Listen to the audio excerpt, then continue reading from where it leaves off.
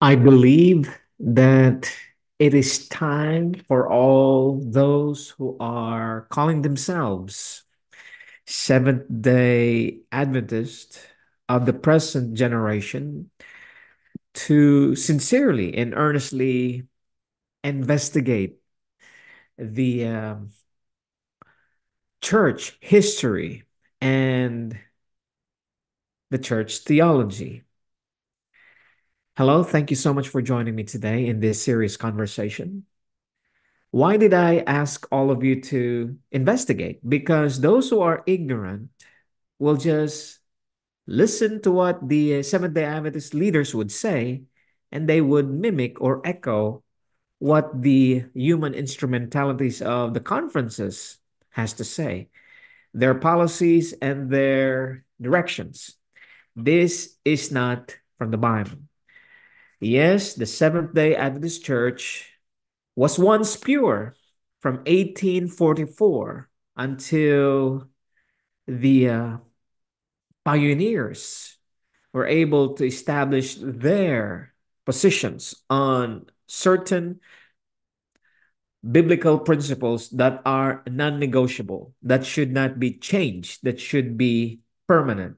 It, that's why they call it fundamental principles not beliefs so why am i saying this is because the seventh day adventist church through the years and it is available online that you can verify the facts and the uh, dishonesties and the deceptions that are deliberately happening in the general conference level from uh, the time when Sister Ellen G. White died, and the struggle continued until 1980 when the Trinitarians decided to take that vote through their leadership.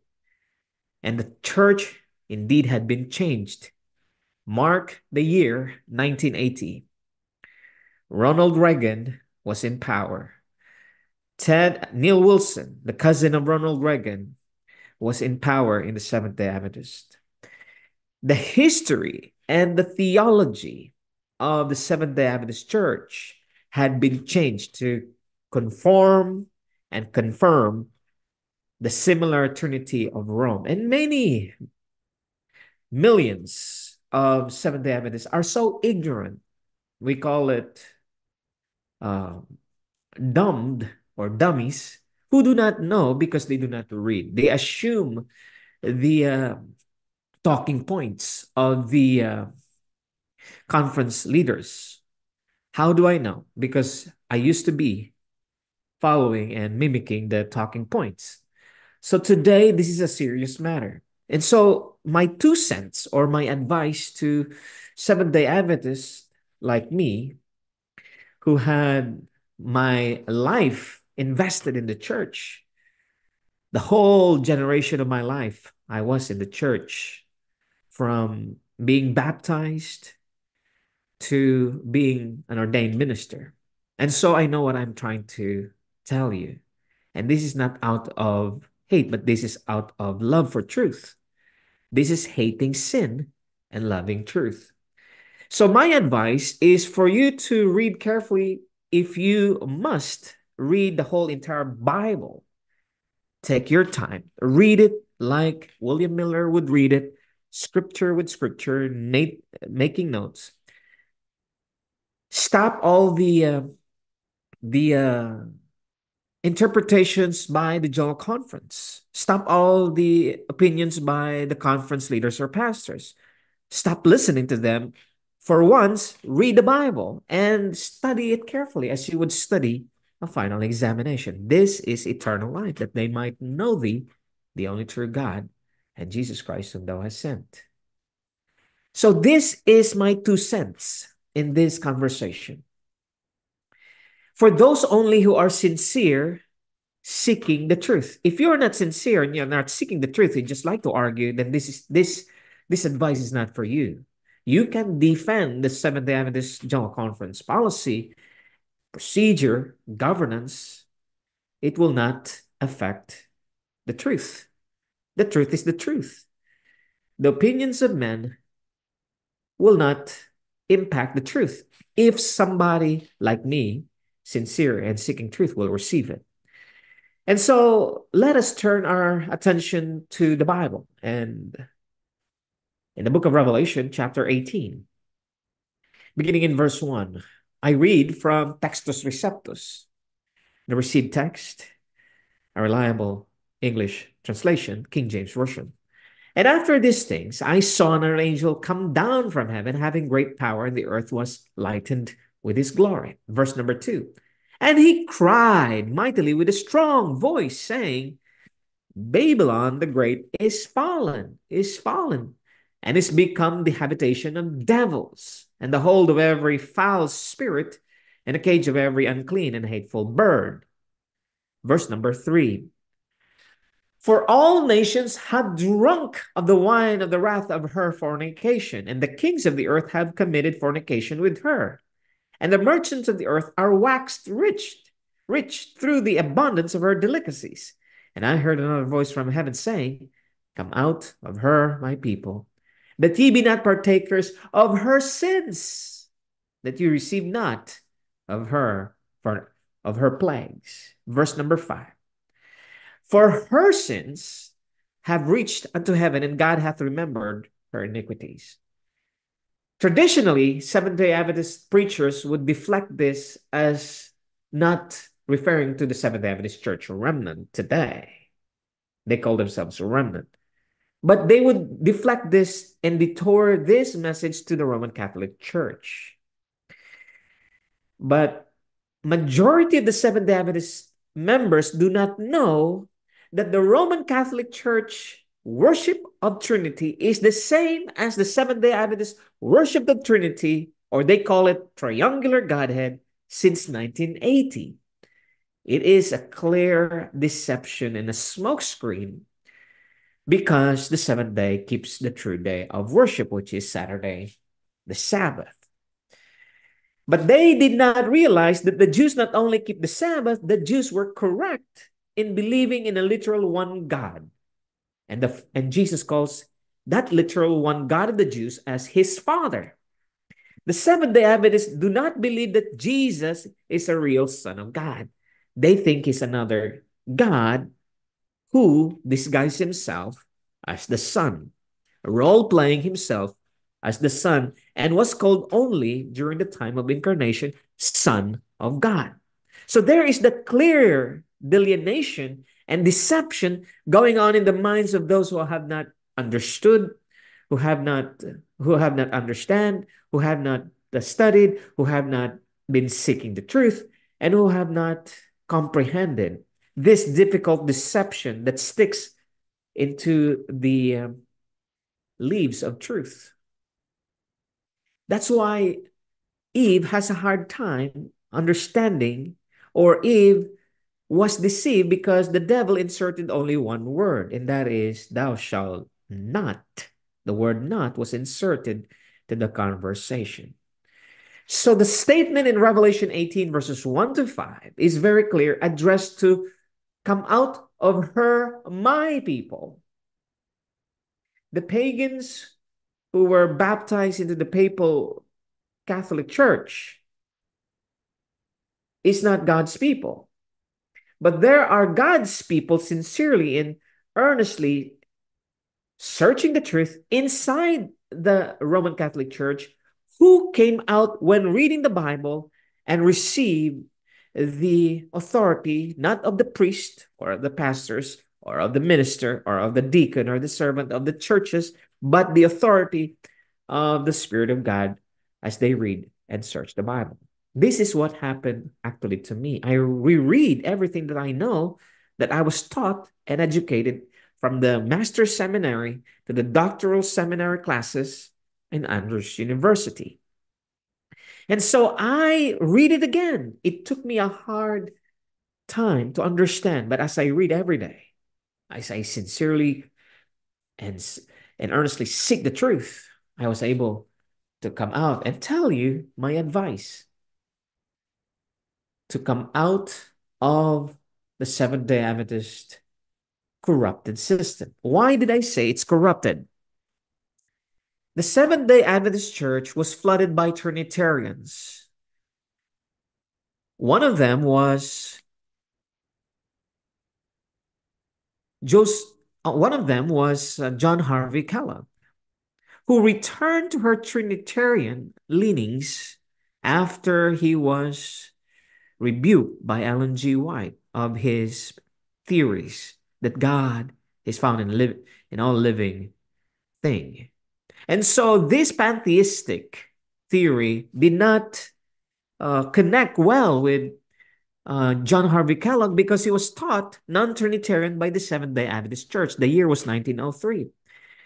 And after that controversy, what we call the beginning of apostasy in the Seventh-day Adventist, John Harvey Kellogg clearly returned to believe in the Trinity of the Roman Catholic Church and the Protestant churches because they have the same, same and similar teaching. So John Harvey Kellogg, a medical doctor, leader of the uh, uh, missionary arm of the Seventh-day Adventists in 1903, accepted Trinity. Letter.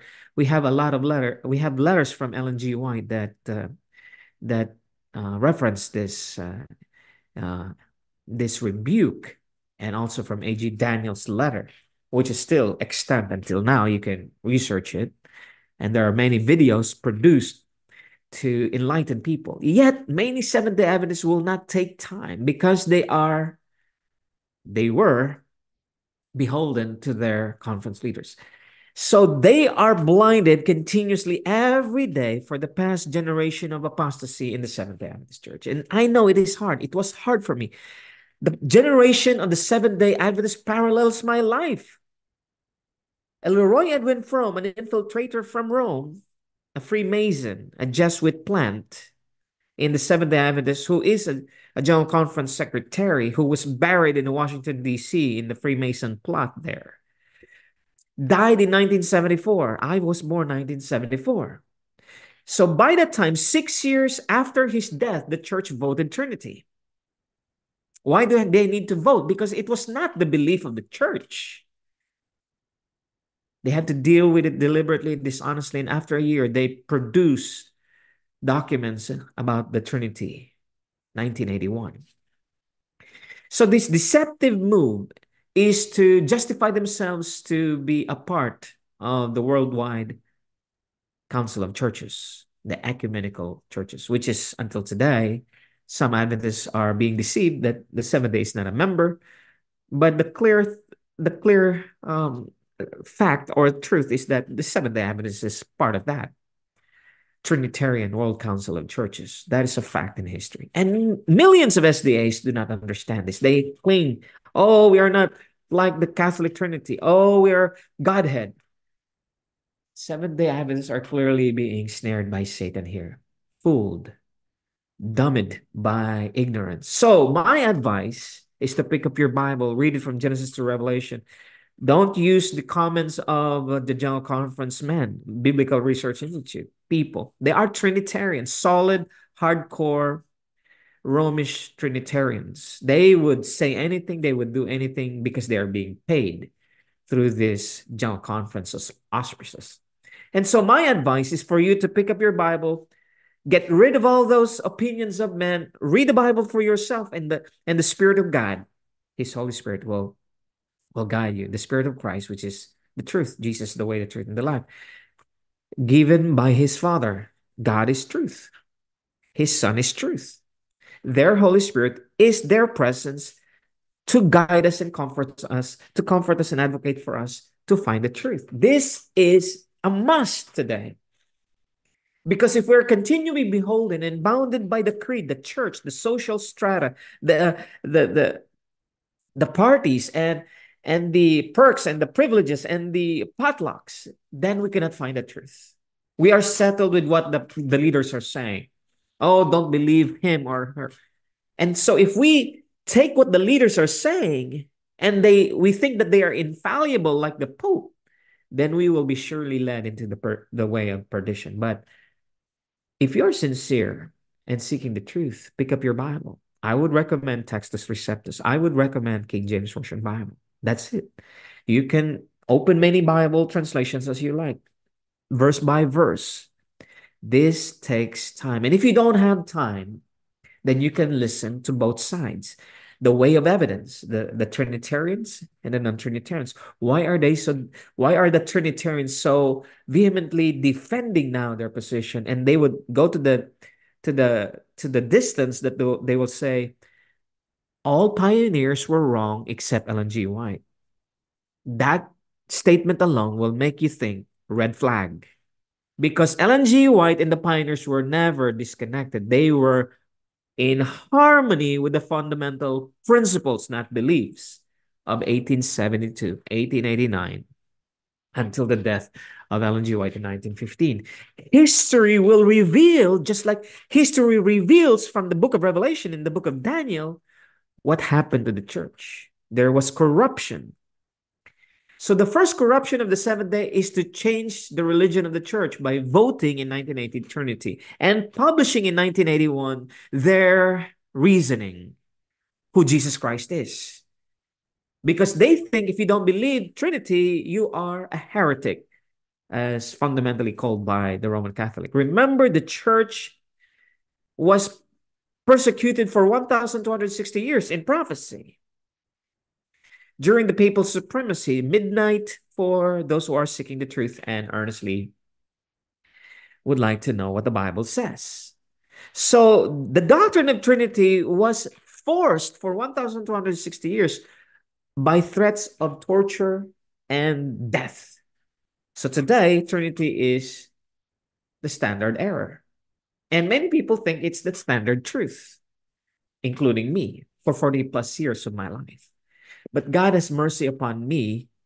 He he allowed the uh, circumstances in my life, the painful circumstances to shape in my thinking and also my life and my heart so that I will investigate for my, myself and make my own decision and not just follow the conference puppet masters or those who are policymakers.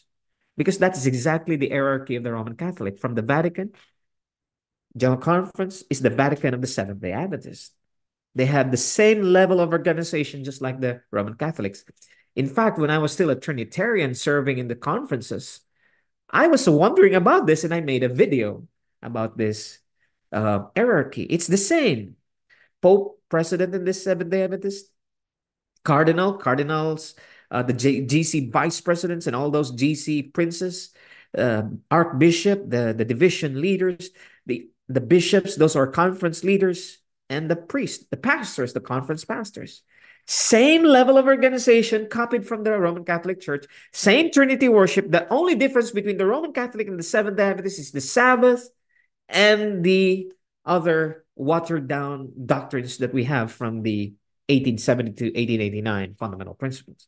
They change who God is in the Seventh day Adventist. So I I'm confident and I could say and I could claim that indeed the Seventh day Adventist Church of today is corrupted. It's corrupt doctrinally, biblically.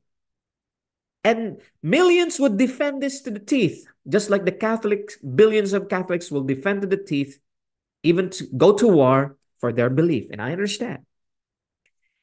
And I understand what's happening. But my point why I'm doing this is for those who are sincere, emphasize sincere seeking the truth. If you're not sincere in seeking the truth, you don't have time to read the Bible, then you believe what you believe and you will you will justify yourself as this is what I believe. And God will save me because this is what I believe. And Jesus Christ has to understand me. This is what I believe. Well, that is your belief. But the Bible has been given to us for thousands of years now. This book, the 66 books of the standard canon of the uh, received text of the Reformation, of the Advent pioneers, was banned, blocked, and destroyed. I mean, it was deliberately wanted to be obscured by the enemy, but still the Bible is here with us.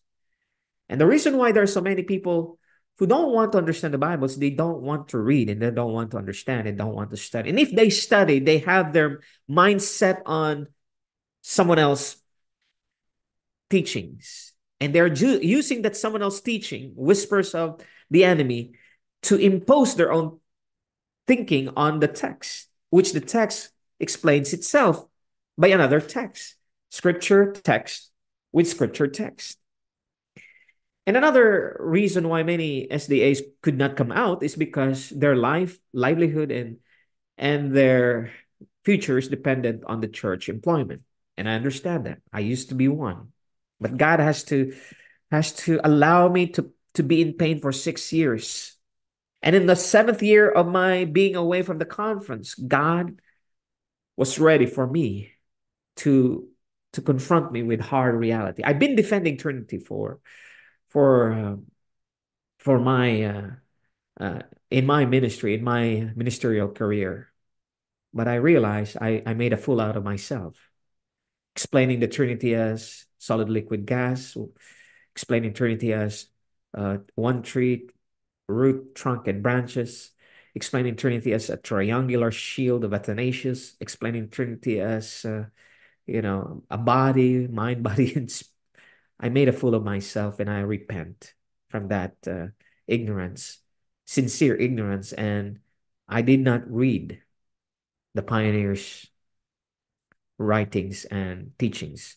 But now I did read, read for the whole year in my ministry with the non, with the uh, returning to the uh, non-Trinitarian roots of, of my church, the Seventh Day Adventist non-Trinitarians. I realized for one year and a half at least, I realized I was duped and deceived, and I don't want to be duped and deceived again.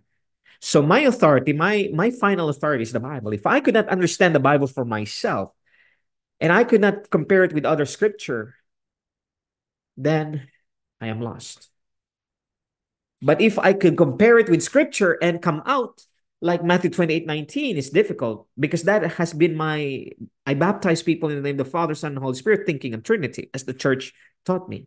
But that is not the case. Acts 2.38 is baptizing them in the name of Jesus. And so I conclude they could not be inconsistent. Matthew 28, 19 and Acts 2.38, they are consistent.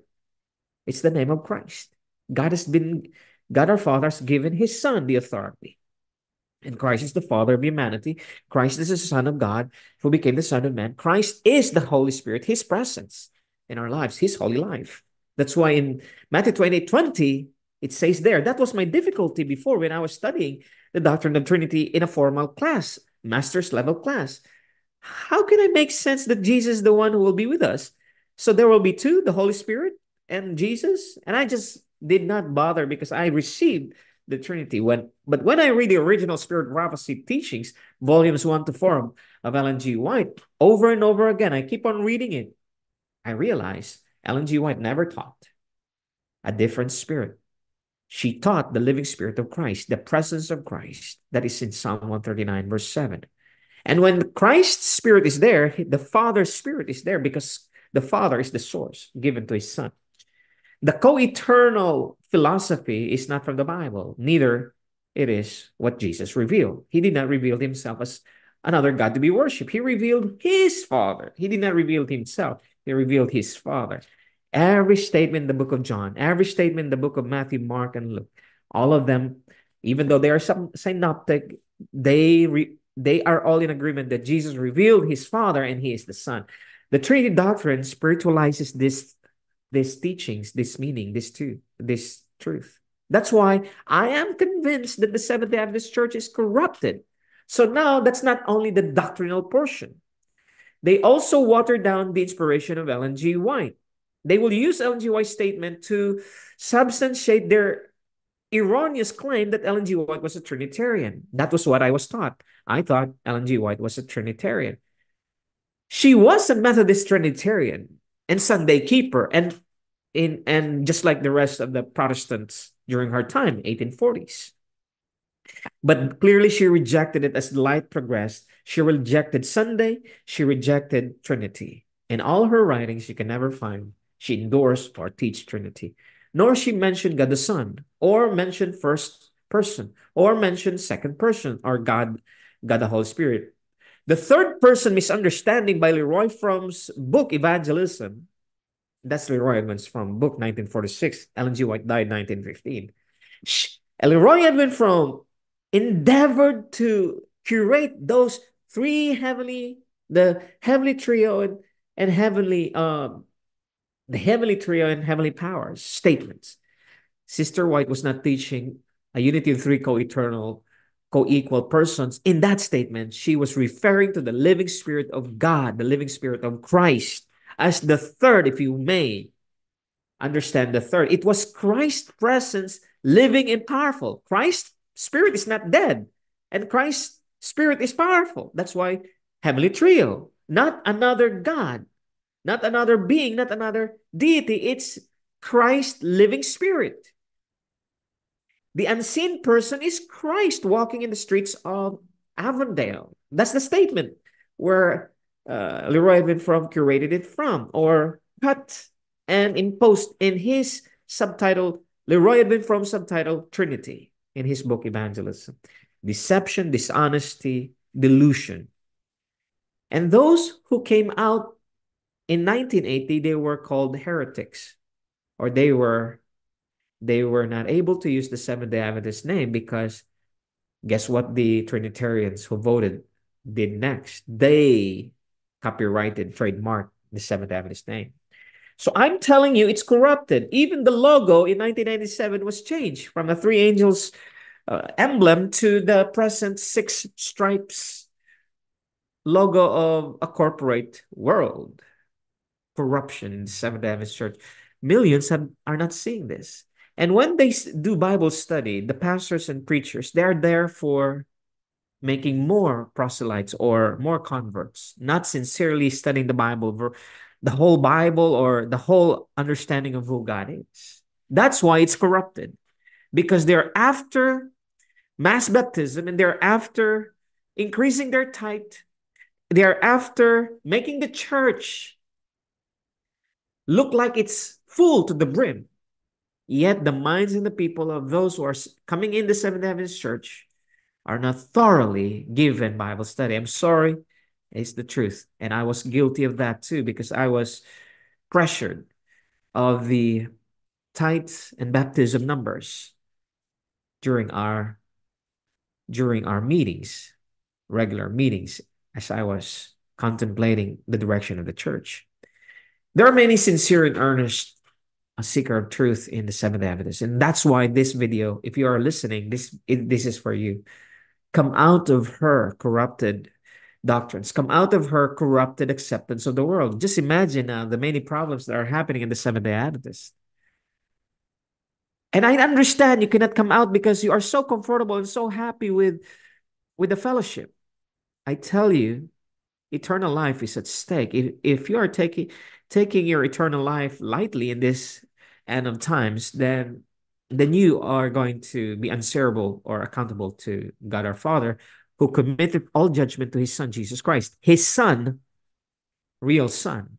So you will be accountable and answerable to all your to all those that you have been given. And if you ignore messages like this or reject messages like this, or be offended and and be angry and attack messages like this, telling you to study the Bible and you feel like you have arrived, you don't need to study the Bible, then I'm sorry. It's it's so pathetic that there's no more point in in reaching out to those who are unholy, who would like to continue to be unholy. But if you are righteous and holy, you will study the Bible again and again and again, trying to understand the truth. The truth is plain, pure, in the words of Christ. In the words of what we have read earlier, Revelation 18, verse 4 Come out of her, my people, that ye be not partakers of her sins, and that ye receive not of her plagues. The Seventh day Adventist today is clearly, factually corrupted.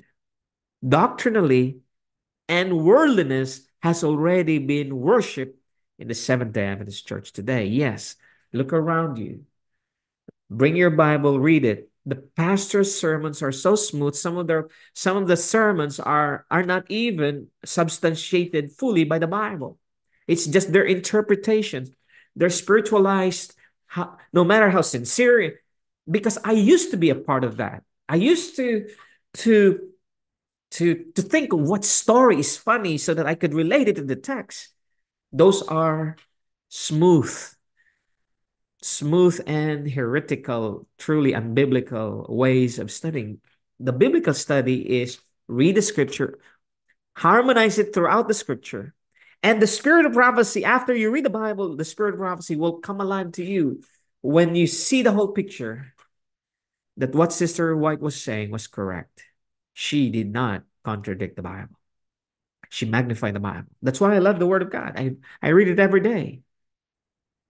And so today I would like to give my advice, my two cents to all Seventh day Adventists who are listening. Stop listening to your conference leaders for a while. Have a retreat. Read your Bible. Read your Bible. Read your Bible. Pray. Go to the text. And if you're, go to the internet, search, compare the the past SDA with the present SDA. Compare the 1872 with the 1980, the fundamental principles and the fundamental beliefs. Compare the statements of Ellen G. White, three heavenly, three heavenly, uh, a heavenly trio, and then the whole. Who is the Holy Spirit in Ellen G. White's teaching? It's Christ. So the heavenly trio is the Father, the Son, and their Holy Spirits. That's the heavenly trio. Their Holy Spirit, not someone else. Holy Spirit. You can also examine all of my videos if you're not, uh, um, if you just you just listen to, to this message for the first time. I have more than 4,000, I think, if I'm not mistaken, uh, videos so that you can, so you can compare. I am confident because I saw the, the other side. The I saw the general conference teaching. I heard, I saw, I read, and I experience and I teach it myself. I practice.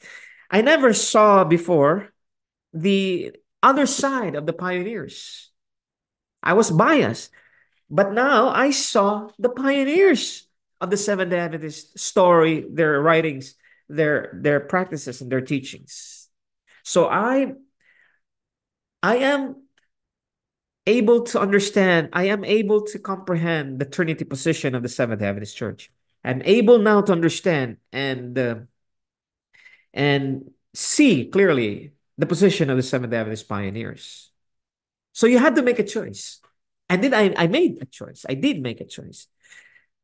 The original Seventh day Adventism or the corrupted Seventh day Adventism. I choose the original Seventh day Adventism. That is the reason why this channel existed. I changed the channel's name because it fits what Deuteronomy 6, verse 4 literally says. Hear, O SDA, hear, O Israel, spiritual SDAs. Hear, O Israel, the Lord our God is one Lord. Literally, one Lord, God our Father. The God of Jesus, the Father of Jesus. Remember in the statement in the cross, my God, my God, Jesus said that. That's serious and solemn and real. His God is his Father literally.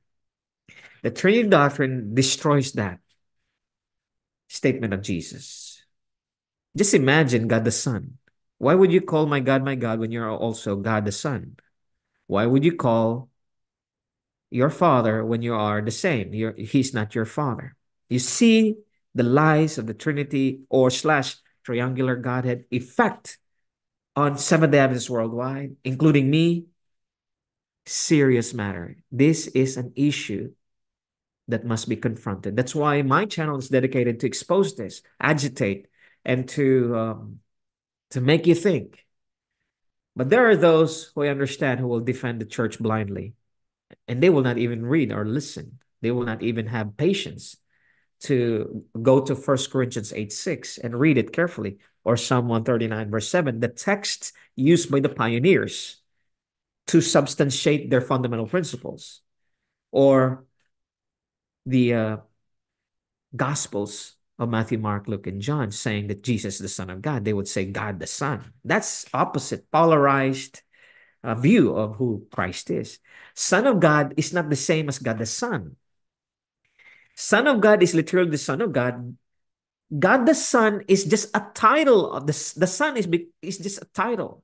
So the theologians that you are referring to from the Seventh-day Adventist Biblical Research Institute, they are Trinitarians from Rome. They're drinking from the wine of the wrath of Babylon's fornication. What is Rome teaching? Sunday rest to worship Trinity. What is the Seventh-day Adventist teaching today? Sabbath rest to worship Trinity. That is incorrect. Sabbath rest is to worship the only true God, our Father, How do we know? Through his son, Jesus Christ. So the question is, how about the Holy Spirit? The Holy Spirit is the presence and power of the Father and his Son, their Holy Spirit. I rest my case. And I pray and I advise you if you are only sincere in seeking the truth, come out of the corrupted General Conference Corporate Church. It's like Titanic.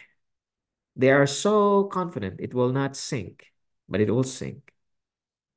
It may not be today. It will sink, according not to me, but to the prophecy of Ellen G. White. The structure will be swept away because they removed Jehovah and replace it with Trinity. May God our Father have mercy upon us and his Son be gracious